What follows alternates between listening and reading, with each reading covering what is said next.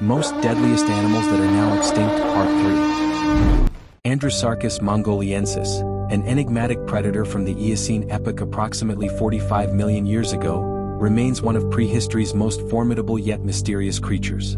Discovered in Inner Mongolia, its sole known specimen, a massive skull measuring over 83 centimeters 32.8 inches in length, hints at a beast of extraordinary proportions.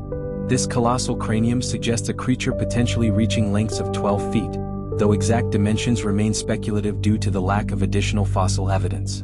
The skull structure indicates immensely powerful jaw muscles, capable of delivering bone-crushing bites.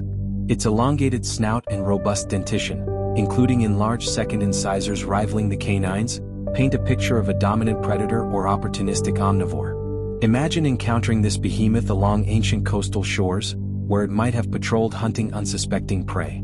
Its sheer size and formidable bite would have made it a terror of its time, a creature that commanded both fear and respect in its prehistoric realm.